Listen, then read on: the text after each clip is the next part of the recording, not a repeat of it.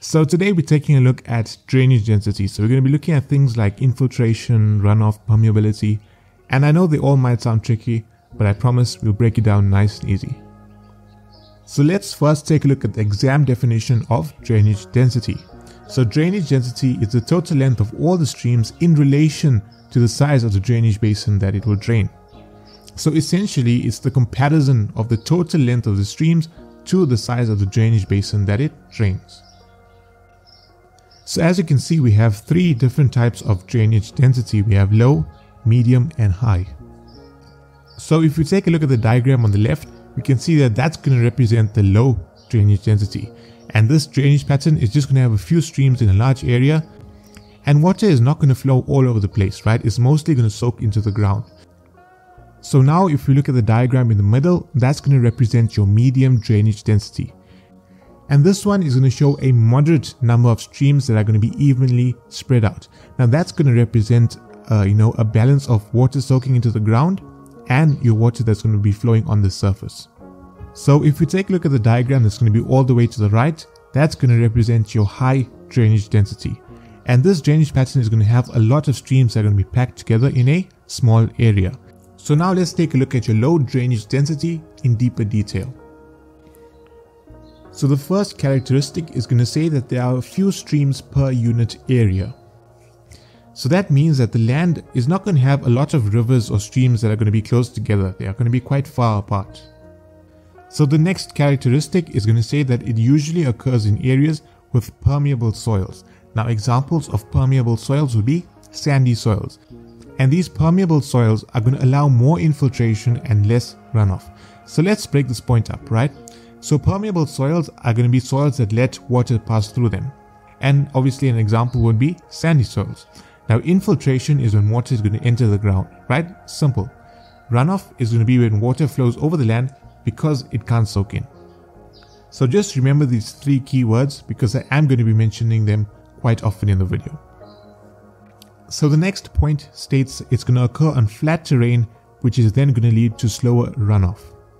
Now on a flat terrain, your water is going to move slowly and it's going to have more time to soak in instead of running off the surface quickly. So our next point mentions that there's going to be dense vegetation and that's going to reduce your surface runoff. So dense vegetation basically means that your plants are going to grow close together and it's going to cover most of the ground. And these plants are then going to, you know, slow down the water that's flowing and that's going to help it soak into the soil and that's going to further lead to reducing your runoff. So if runoff is low, your infiltration is going to be high. That means that if there's less water flowing on the surface, that means that more water is being soaked into the ground. So now let's take a look at your medium drainage density. So the first characteristic is that there's going to be a moderate number of streams and that's going to indicate a balance between your infiltration and your runoff. So that's going to mean that some water is going to soak in and some water is just going to flow on the surface, right? There's not going to be too much of either.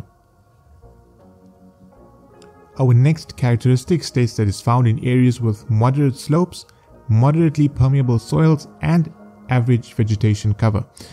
So that means that the land is not going to be too steep or too flat, and the soil that will be found on this land will be soil like loam because it is going to let some water in, but not too much. And your average vegetation cover means that there's not going to be too many trees and it's not going to be too bare. So an example would be obviously your um, farmlands or your grasslands. So the first characteristic states that there are many streams in a small area. Now as you can see in the diagram there are quite a few streams there. So it usually occurs in areas with impermeable rocks or soils. An example of that would be clay and that's going to prevent infiltration. So basically if it's impermeable that means that water cannot pass through.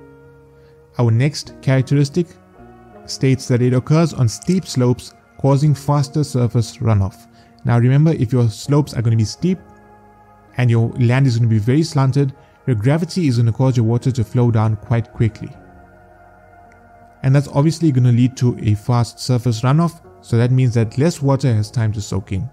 So there's going to be little or no vegetation. Now remember, if there's little or no vegetation, it's going to be bare ground. So think of deserts or rocky areas. Now without plants, there's going to be nothing to slow the water down. So it's just going to run off quickly and that's going to cause more streams to form. Now remember, if your runoff is high, that means if a lot, a lot of water is flowing on the surface, your infiltration is going to be low, and that means that very little water is going to soak into the soil. So let's go through that one more time. If there's a lot of water flowing on the surface, then very little water is going to soak into the ground. So runoff is high, infiltration is low. So let's look at some factors that are going to influence drainage density. Now as you can see in the image, there's only going to be four. However, there are actually nine factors that can influence your drainage density. So let's start off with gradient, right? Now in order to attain a low drainage density, you're going to have to have a gentle slope. So water is going to move slowly and it's going to infiltrate. That means that water is going to move slowly and it's going to have more time to soak into the soil. And that's going to lead to less runoff and fewer streams. Now in order to attain a high drainage density, you're going to have to have a steep slope. So water can run off quickly and that's going to form many streams. So when we say that water is going to flow downhill quickly, imagine pouring water on a slide. That's exactly what it's going to be like. And this is then going to cause more runoff and the faster moving water is going to carve out more streams. So next we have porosity. Now in order to have a low drainage density, you're going to need to have a high porosity, so more pore space for water to infiltrate. So porosity basically means how much of pore space or gaps that there will be in either rock or soil in order for water to enter. Now when we say high porosity, we actually mean that there's going to be a lot of pore space in order for water to enter into the ground. Now in order to have a high drainage density, going to need to have a low porosity. So that means there's going to be less pore space and more runoff. So low porosity is going to mean fewer gaps in soil and that's going to mean less space for water to enter so more of it is going to run off the surface. Now we look at permeability. Now in order to have a low drainage density you need to have a high permeability so that water can easily soak in. Now an example of soil with high permeability would be sandy or gravel soils because these soils are going to have gaps or spaces between the particles and that means that water can easily pass through so it infiltrates into the ground instead of actually running off. Now in order to have a high drainage density you're going to need to have a low permeability. So examples of soils with low permeability will be your clay or rock and that's because these soils are going to be tightly packed and it's going to make it hard for water to soak in. And in doing so, that's going to lead to more runoff on the surface. Now, in terms of soil moisture, in order to have a low drainage density, you're going to need to have dry soils because your dry soils can absorb more water because remember the pores are going to be empty and that's going to lead to less runoff. However, in order to have high drainage density, you're going to need to have saturated soils that are already going to be full of water now think of a soaked sponge, right? It's going to be full of water and it can't absorb any more. So because it can't absorb any more, the water is just going to run off easily and that's going to increase your stream formation.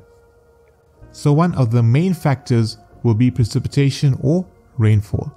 Now in order to have a low drainage density, you need to have either low or moderate rainfall. Because remember, if there's less water that's falling on the land, there's going to be less surface runoff and there's going to be more infiltration. Because think about it, there's going to be such a small amount of water that's falling that the ground can just easily absorb it, right? So more infiltration is going to happen. So in order to have a high drainage density, you're going to need to have a high rainfall. Because remember, if a lot of water falls at once, the soil can't absorb it, you know, fast enough. And streams are then going to develop quickly because the extra water is going to then flow away and that's going to form more channels. So in terms of vegetation, right, now in order to have a low drainage density, you need to have your dense vegetation. So that means that you need to have a lot of plants, grass and trees. Because you need to remember interception is then going to happen. So what that means is your leaves are going to catch the rain and that's going to slow the water down. Because the water is then going to drip gently onto the soil and that's going to give it more time to soak in and therefore it's going to promote infiltration. In order to have high drainage density, you're going to need to have sparse or no vegetation. So there's not going to be any plants to stop or slow down the rain. And once your water is going to hit the ground hard and fast, it's going to cause more surface runoff. So let's take a look at temperature and evaporation. Now in order to have a low drainage density, you need to have high evaporation, which is going to reduce the surface water and that's going to lead to less runoff. Because you need to remember that high temperatures are going to cause more evaporation, which is going to remove the water from the surface before it can even flow into any streams. And the result of that is going to be less runoff. However, in order to have a high drainage density, you need to have low evaporation rates, which means you need to have low temperatures because remember your water is then going to stay on land longer and it's more, more likely to run off into streams. That means that if you have low temperatures or evaporation, there's going to be more runoff and a higher drainage density. So let's look at the rock type. So in order to have a low drainage density, you need to have permeable rock, right? And permeable rock will be rocks that are going to allow water to pass through it. So examples of these rocks will be sandstone, limestone, and these are going to promote infiltration. In order to have a high drainage density, you need to have impermeable rock. So that's rock that does not allow water to pass through it. So examples would be granite or shale. And remember, if the water is not going to pass through it, it's going to flow over the surface and that's going to lead to more runoff. And the last factor will be human activity or land use. Now, in order to have low drainage density, there's going to be a need for natural or forested land because if there's going to be lots of vegetation and soil, that's going to absorb water. And by absorbing the water, you're going to reduce your surface runoff and that's going to lead to a lower drainage density. However, in order to have a high drainage density, it needs to occur in urban areas because remember there's concrete, there's roads, there's pavements, and all these buildings are going to be impervious surfaces. That means that water cannot flow through it. And if water cannot soak into it, this is going to cause your water to run off quickly, and that's going to increase your drainage density with more streams and drains. And that's it for today, guys. I want to thank you so much for watching, especially if you made it this far to the end of the video. If you found this video helpful, then please give it a like and stay tuned because I have many more videos coming. And I'm always here to make learning easier for you. So stay cool, stay curious, and I'll see you in the next one.